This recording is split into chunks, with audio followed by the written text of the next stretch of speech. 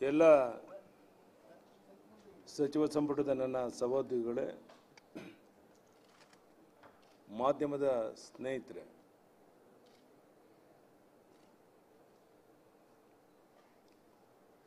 ಈ Britain virus corona ರೂಪಾಂತರ ಆತಂಕದ ಹಿನ್ನೆಲೆಯಲ್ಲಿ ಹೊಸ ವರ್ಷಾಚರಣೆ ಕಾರಣ ಇಂದು ಮಧ್ಯಾಹ್ನ ಇವತ್ತು ಹನ್ನೆರಡು ಗಂಟೆಯಿಂದ ನಾಳೆ ಬೆಳಗ್ಗೆ ಆರು ಗಂಟೆವರೆಗೆ ನಿಷೇಧಾಜ್ಞೆಯನ್ನು ಜಾರಿಗೊಳಿಸಲಾಗಿದೆ. ಜನರ ಆರೋಗ್ಯದ ಹಿತದೃಷ್ಟಿಯಿಂದ ಈ ಕ್ರಮ ಕೈಗೊಳ್ಳಲಾಗಿದೆ. ದಯವಿಟ್ಟು ಇವತ್ತು ಒಂದಿನದ ಮಟ್ಟಿಗೆ ಎಲ್ಲರೂ ಸಹಕರಿಸಬೇಕು ಅಂತ ವಿನಂತಿ ಮಾಡ್ತೇನೆ. ಕೋವಿಡ್ ಕಾರ್ಯಸೂಚಿ ಕಡ್ಡಾಯವಾಗಿ ಪಾಲನೆ ಮಾಡಬೇಕು ಅಂತೇಳಿ ವಿನಂತಿಯನ್ನು ಮಾಡ್ತೇನೆ.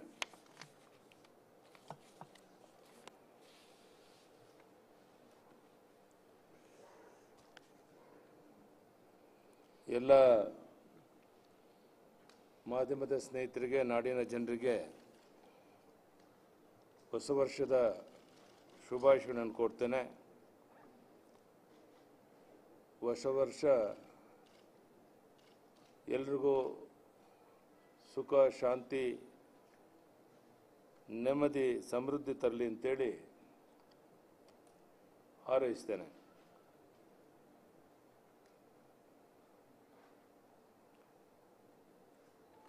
ಭಾರತೀಯ ಜನತಾ ಪಕ್ಷ ರಾಜ್ಯ ಹಾಗೂ ರಾಷ್ಟ್ರದಲ್ಲಿ ದಿನೇ ದಿನೇ ತನ್ನ ಸಾಧನೆಯನ್ನು ಉತ್ತಮಗೊಳಿಸುತ್ತಾ ಮುನ್ನಡೀತಾ ಇರುವಂಥ ನಿಮಗೆಲ್ಲ ಗೊತ್ತಿರುವಂಥ ಸಂಗತಿ. ಪ್ರಸ್ತುತ ಕರ್ನಾಟಕದಲ್ಲಿ ನಡೆದಿರುವ ಗ್ರಾಮ ಪಂಚಾಯತಿ ಚುನಾವಣೆಗಳಲ್ಲಿ ಬಿ ಜೆ ಪಿ ಬೆಂಬಲಿತ ಅಭ್ಯರ್ಥಿಗಳು ಶೇಕಡ ಅರವತ್ತಕ್ಕೂ ಹೆಚ್ಚು ಸ್ಥಾನಗಳನ್ನು ಗಳಿಸಿ ಅಭೂತಪೂರ್ವವಾದಂಥ ಒಂದು ಸಾಧನೆಯನ್ನು ಮಾಡಿದ್ದಾರೆ. ಬಹುಶಃ ಇದಕ್ಕೆ ಕಾರಣ ಸಾಮೂಹಿಕ ನೇತೃತ್ವ. ನಮ್ಮ ಜಿಲ್ಲಾ ಉಸ್ತುವಾರಿ ಸಚಿವರು, ಶಾಸಕರು, ಆಯಾ ತಾಲೂಕಲ್ಲಿರುವಂಥ ನಮ್ಮ ಕಾರ್ಯಕರ್ತರ ಪರಿಶ್ರಮದಿಂದ ಈ ಗೆಲುವನ್ನು ಸಾಧನೆ ಮಾಡೋಕ್ಕೆ ಸಾಧ್ಯ ಆಗಿದೆ ಅಂತ ನಾನು ಭಾವಿಸಿದ್ದೇನೆ. ರಾಜ್ಯದ ಐದು ಸಾವಿರದ ಏಳ್ನೂರ ಇಪ್ಪತ್ತೆಂಟು ಗ್ರಾಮ ಪಂಚಾಯಿತಿಗಳ ಪೈಕಿ ಅತಿ ಹೆಚ್ಚು ಗ್ರಾಮ ಪಂಚಾಯಿತಿಗಳಲ್ಲಿ ಅಂದರೆ ಸುಮಾರು ಮೂರು ಸಾವಿರದ ಎಂಟುನೂರು ಗ್ರಾಮ ಪಂಚಾಯಿತಿಗಳಲ್ಲಿ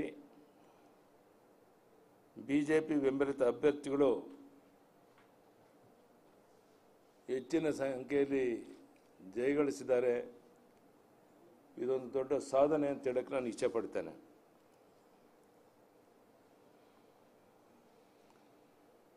ಸನ್ಮಾನ್ಯ ಪ್ರಧಾನಮಂತ್ರಿ ಶ್ರೀ ನರೇಂದ್ರ ಮೋದಿಜಿಯವರ ನೇತೃತ್ವದಲ್ಲಿ ಎನ್ ಡಿ ಎ ಸರ್ಕಾರ ಎರಡು ಸಾವಿರದ ಇಪ್ಪತ್ತೆರಡರ ವೇಳೆಗೆ ರೈತರ ಆದಾಯವನ್ನು ದ್ವಿಗುಣಗೊಳಿಸಬೇಕು ಅನ್ನುವಂಥ ವಿಶೇಷ ಶ್ರಮ ಆದಿಕಲಿ ಕಾರ್ಯಕ್ರಮವನ್ನು ರೂಪಿಸಿದ್ದಾರೆ. ರೈತರ ಶ್ರೇಯೋಭಿವೃದ್ಧಿಗಾಗಿಯೇ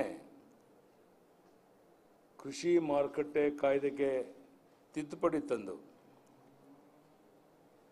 ತಮ್ಮ ರೈತರು ತಮ್ಮ ಉತ್ಪನ್ನಗಳನ್ನು ಎಲ್ಲಿ ಬೇಕಾದರೂ ಮಾರಾಟ ಮಾಡಿಕೊಳ್ಳುವಂಥ ಸಂಪೂರ್ಣ ಸ್ವಾತಂತ್ರ್ಯ ಇರಬೇಕು. ಬಹಳ ವರ್ಷಗಳ ಬೇಡಿಕೆ ಇದ್ದಿತ್ತು. ಆ ಬೇಡಿಕೆಗೆ ಮಣ್ಣನ್ನು ಕೊಟ್ಟು ಪ್ರಧಾನಿ ನರೇಂದ್ರ ಮೋದಿಯವರು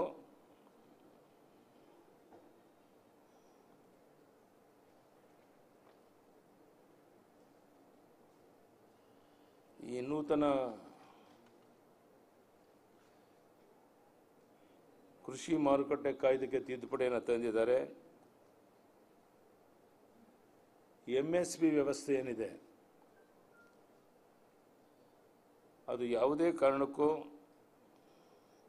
ಮುಂದುವರಿಯುತ್ತೆ. ಈ ಕಾರಣಕ್ಕಾಗಿ ಯಾರು ಸತ್ಯಾಗ್ರಹ ನಡೆಸ್ತಾ ಇದ್ದಾರೆ, ಆತಂಕ ಪಡುವಂಥ ಅಗತ್ಯ ಇಲ್ಲ ಅನ್ನೋಂಥ ಮಾತನ್ನು ಈ ಸಂದರ್ಭದಲ್ಲಿ ಹೇಳ್ತೇನೆ. ಅಮೇರಿಕಾ ಮತ್ತು ಚೈನಾದಂಥ ಮುಂದುವರಿದ ರಾಷ್ಟ್ರಗಳ ಜೊತೆ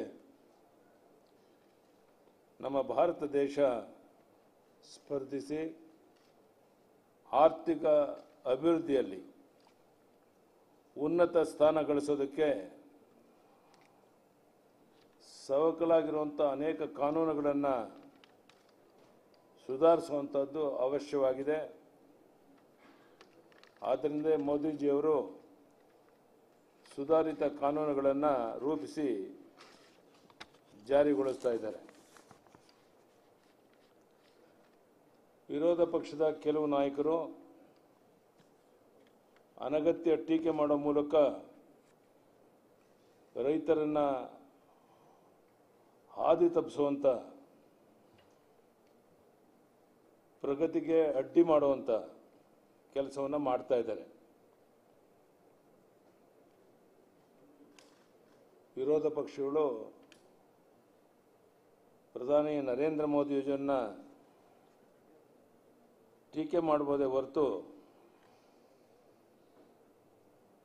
ರೈತರು ಸೇರಿ ಸರ್ವರ ಶ್ರೇಯೋಭಿವೃದ್ಧಿಗಾಗಿ ಅವರು ರೂಪಿಸಿರುವಂಥ ನೀತಿಗಳು ಮತ್ತು ದೂರದೃಷ್ಟಿ ಕಾರ್ಯಕ್ರಮಗಳನ್ನು ಟೀಕಿಸೋದಕ್ಕೆ ಸಾಧ್ಯ ಇಲ್ಲ.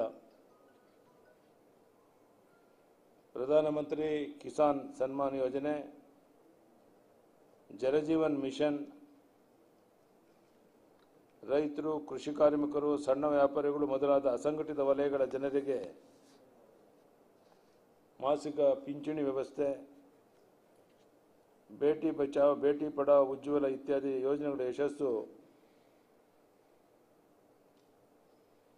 ನಮ್ಮ ಮುಂದಿದೆ. ಸನ್ಮಾನ್ಯ ನರೇಂದ್ರ ಮೋದಿಜಿಯವರ ದೂರದೃಷ್ಟಿ ಈ ಕಾರ್ಯಕ್ರಮಗಳನ್ನು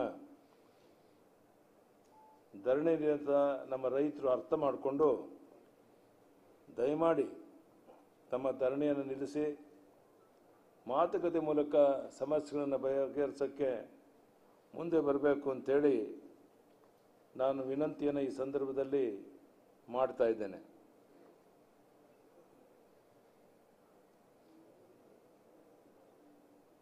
ಸನ್ಮಾನ್ಯ ಪ್ರಧಾನಿ ನರೇಂದ್ರ ಮೋದಿಯವರ ದೂರದೃಷ್ಟಿಯ ಕಾರ್ಯಕ್ರಮಗಳನ್ನು ಕರ್ನಾಟಕದಲ್ಲಿ Yaşasın Glasgow.